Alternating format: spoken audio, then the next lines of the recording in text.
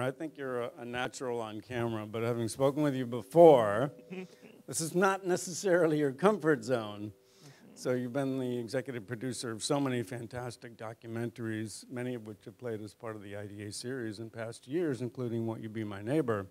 But then to have the camera on yourself, how big of a leap was that for you? Oh, huge. Uh, I actually, for the first three years we were working on this story, there was no family. I was like, I'm not going to be in this film. And uh, finally, the director was like, like, there's got to be a family. We've got to have that part of the story. So um, but I, I like to tell the, the interviews uh, with myself, Jeff, Annie, and, and Jake, that was the first time we had ever talked about the story.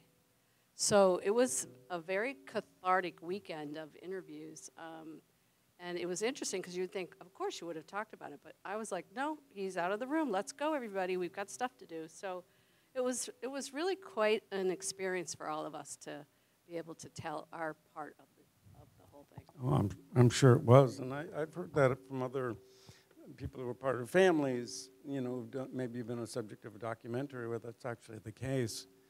Kyle, I was curious about what, you were quite young, really, when the, the room was built, but do you have memories of sort of first being in it or remembering sort of your reaction to your own sort of special hideaway, in a sense, that they created for you? Yeah, uh, for me, I, I still have plenty of memories. In fact, when I still see a lot of the volunteers in my day-to-day life, not so much really anymore, but when I, you know, when I saw Lindsay and Rachel again, I was like, oh my God, all these memories just like came back. It was just like, see, like, it's like returning to like high school or middle school and seeing like your favorite teachers and you're like, oh my God, I remember this happened or X, Y, and Z. And it was just like, it was just one of those moments where it was just so fun. It was such a fun day to shoot and it was such a fun, experience to be able to kind of be able to have the opportunity to reminisce, and that for me that was really special. Do you recall from that time, uh, or looking yeah. back on it, of what you wish people around you had understood, either the sort of volunteer helpers or, or even your own family, because there was that long process of of understanding things yeah. from your point of view? That's a great question, Matt. I think for me, I I would say really, I think the volunteers and my parents really did a good job, really understanding or trying to understand my world. And I think, uh, and actually, they, they really, I think because they understood it so well, they were able to challenge me because they knew it so well. Because they were like, okay, now you're ready for the next step. You're ready for the next challenge. You're ready for the next thing. We've been here long enough. It's time to you know, raise the stakes a little bit. And so by doing that, by willing to do that, you really have to know where that individual is. And so, yeah, I give a lot of credit to my volunteers and to my parents. That's good to know. That, yeah. that makes myself. you feel good, Jenifer. And to myself, too. Well, yeah, yeah. absolutely. It, uh, being able to work with them and find mm-hmm. a, a, common language in a way, a way of yeah. communicating. And then to conquer your fear as well. Mm. Each step was like you're building, you're conquering that next level of fear, and so you just keep continuing to build that bridge. And Jenifer, this is touched on in the film, but maybe you could expand on that a bit. But um, the reaction of friends and and uh, maybe uh, wide extended family when you were embarking on the Son-Rise program, it sounds like there was some skepticism. That's an understatement. um, yeah, the, you know, we talk about it in the film. Back in that time, we we just weren't exposed to other treatment options. I mean, the, our local school district paid for our program for two years because they didn't have anything else going on. It, it, it was so it was really a very early part of the whole world of autism, and uh, and this kind of process. Uh, you know, like I said, people thought we were totally weird and uh, and especially locking him in a room, and he wasn't locked in the room. But um, yeah, you know, in locked. this in this room all the time, what is this? How's he ever going to learn to be with kids? And we didn't know. We didn't have any answers to any questions. All we knew is that it felt right. So we just every day we just kept doing it, and four years later, uh, he graduated from his program and is out in the world. So four years. That is that is stunning, and we see, of course, how important the volunteers were to you, and you know they're deeply inspiring and, and moving. um, and how hard they worked. And uh, uh, again, you, Kyle, you were so young, really, when this was happening. But Yeah. how, how aware were you of, oh, there's a, you know, maybe a one-way mirror back there. Maybe they're filming me. Did that, like, register with you, or did it bother you yeah, at all? No, that's a great question. I, I think for me, the one thing that I found really funny is that like I was aware, and because there were times there'd be times where I'd ask about like what's with the camera, like that's so funny. Like I'm just playing with my volunteers. Why are you filming it? Like, not that I was feeling like it was invasive, but I was just sort of like, okay, that's strange. But um, but it is, uh, you know, and then also the two-way mirror. But also, it's really funny later on because people would be asked like, "What's with the room in the basement with the two-way mirror?" And we're like, "Nothing creepy happened. It was actually a playroom. Like we swear." Like, and so, but it was, you know, th- those memories were so precious, and they were so, and a lot of times it's funny. I, for me, I remember the smell of the floor because it was like this lin- linoleum type material, and then um, sort of the brightness of the lights, and just sort of that first morning walking in, and sort of that routine of you know having breakfast, you know, uh, seeing the volunteer who's coming that morning that day, and then going down and sort of going into the room as sort of like a play space. It was such a, it became such a routine. Was, yeah. Um, the routine seemed to be an important part of it, of course. Um, uh, uh, Jenifer, for you, are there parts of the film that are maybe painful to watch or particularly poignant for you as you look back on that? Yeah, the, the bullying part is really the one of the hardest. And you know, as his mom, I could tell you plenty of stories uh, where I saw the bullying. I saw, you know, what was going on. Um, but it, like I say, I didn't realize that Kyle really understood it. Um, and and it was really not until probably when we were filming that Kyle said to me, you know, yeah, mom, I know I was bullied. I know what was going on. You know, he'd get flicked in the eye and be called one-eyed boy, and um, you know, uh, many, many, many other stories. Um, as as your as the mom, you're always trying to protect them. So there was a lot of it that was very painful for me, but also it really was it was character building for Kyle and really being able to really like dig deeper into who he was and be really okay with it. And of course, as his family, we're very supportive. So, um, yeah, but it, that's a that's a pretty painful time. It's painful, I'm Just- sure it was. I just want to go off that real quick, and that is, uh, I think for me too, it's sort of as you're growing up, as you're sort of emerging from this room, it's sort of everything that you do, like you're kind of more aware of your behaviors because you're used to coming from the understanding that they are sort of not mainstream. I would just say that, and so I think for me, anytime I like picked up on something like, oh, you're not supposed to do that. Okay, I was put it in the back of my head, and then I was like, okay, we're gonna learn, and we're gonna and we're gonna move on. Not that it was always fun, but I think I kind of hit a lot of that with sort of a smile because, again, a lot of these kids' parents knew what I had been through, so but the kids didn't necessarily really know, and so that's why I kind of say in the film there's sort of that need like I was treated like a friend because I think sometimes maybe their parents were like, you know, you really should include this kid. He's been through a lot. You know, he has this kind of story that's, however you want to define it, it's pretty unique, and so you, know, you should include him. So I came, I became really aware of sort of reading the nuances in the sort of teenage cliques that I was sort of trying to become part of. I found that a really fascinating part of the film of how analytical you were, and it's it's almost like someone looking at a, you know, this construct, which is society or the way a certain group of people are are acting, and trying to read the rules of how it works, and that one of the things you unlocked was how important popular culture was to reach Yeah. your peers.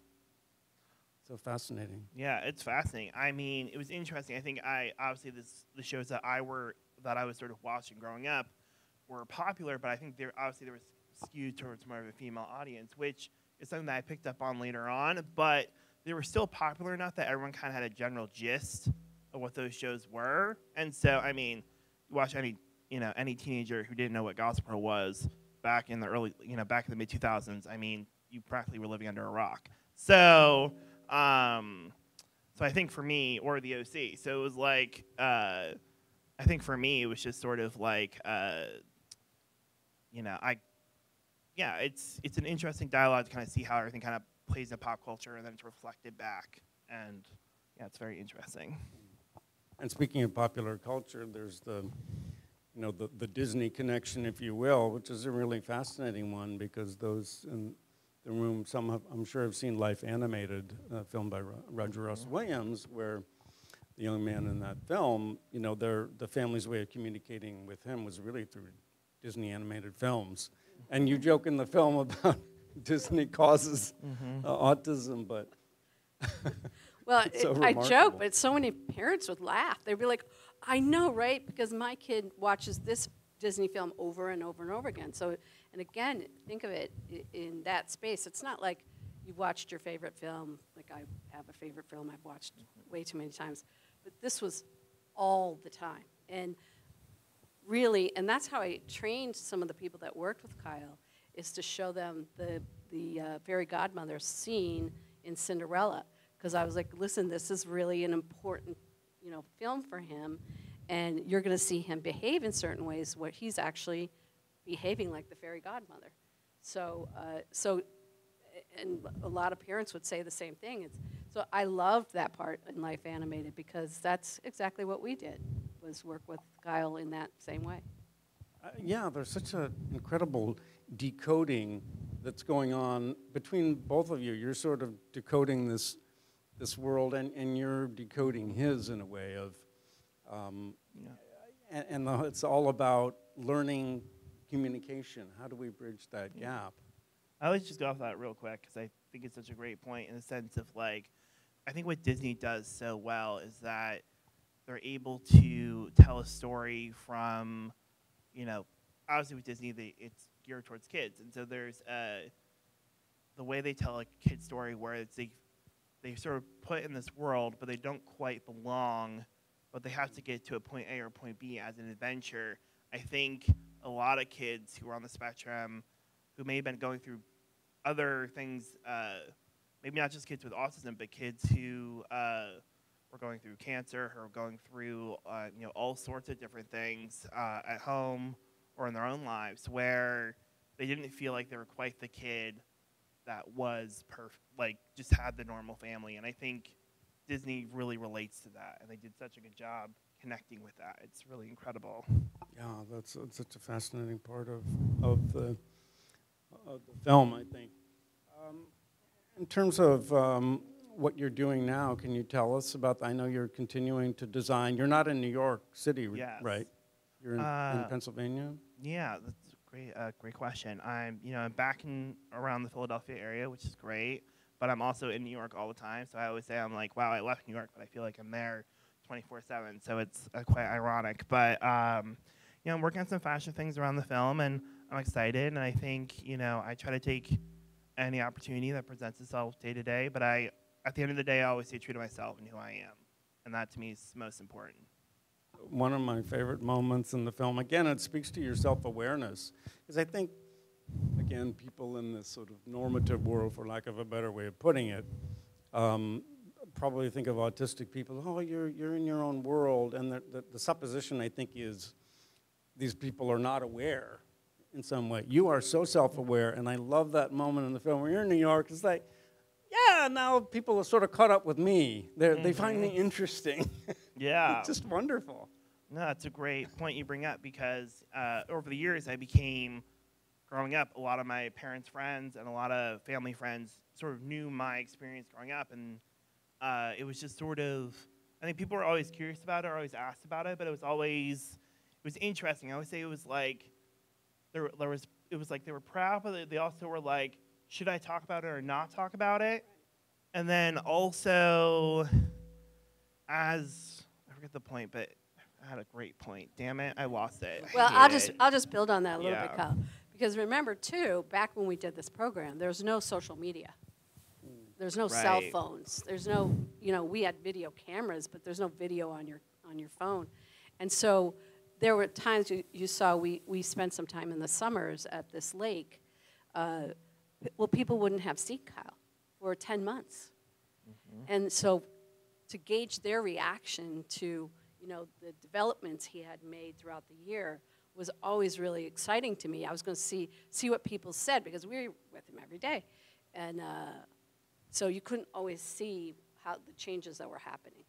Um, so they were a good barometer of ours. Um, Yeah, and just I remembered my point. and that is, uh, no, thank you. I appreciate it because we've all been there. We're like, damn it, I had a point and then I lost it, and oh my god.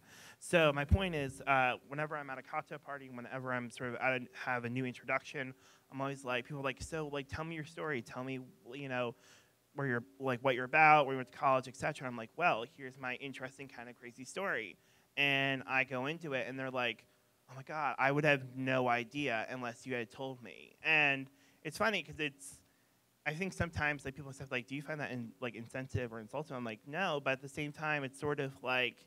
I don't compete with anyone, or you know, I look at us like we're all going through our own experience. So, even if someone who is going to say that to someone who is considered maybe more on the spectrum or more like more presenting more neurodivergent, I'd be like, you know, everyone is in their own experience, and I think that allows us to, you know, one person on the spectrum and their journey with it is still one person on the spectrum and their journey with it, and so I celebrate others as I hope they celebrate me.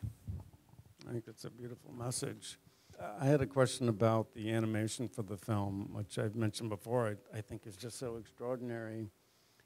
It's something you want to almost reach out and touch because it has, it has that immediate tactile sensation about it. But how, do, how were you able to arrive at that um, and realize this is the kind of animation that will work?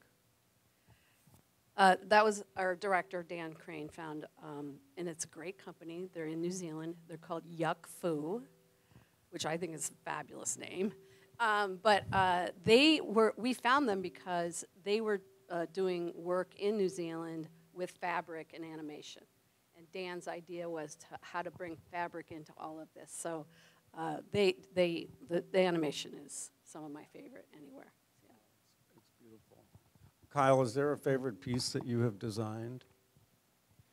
I would say, especially in the film, I think there's one piece that I really like, and that is honestly, I love the final evening gown. That was a lot of fun. That was a lot of work, and it was.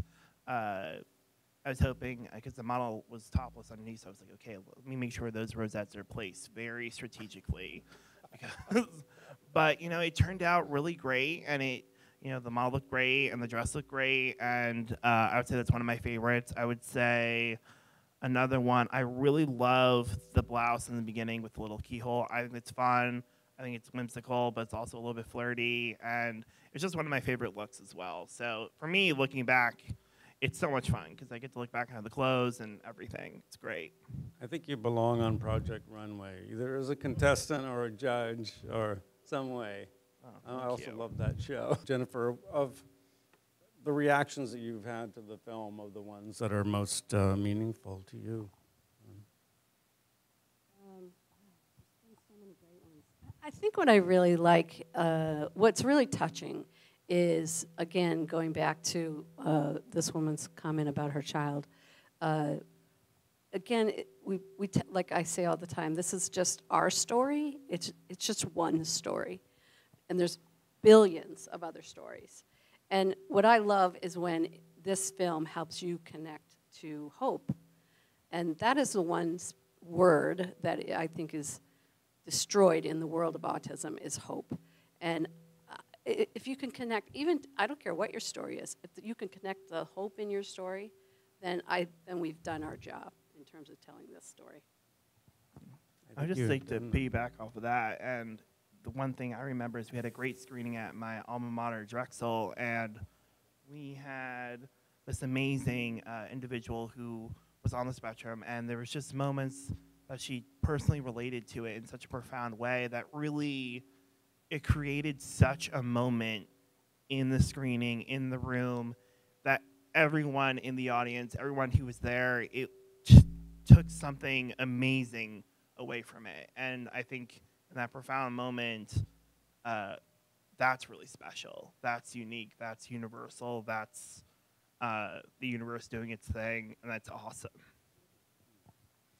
And I really just one more final comment, which is I think as a society we don't deal very well with difference. It's, there's something very threatening to many people about that.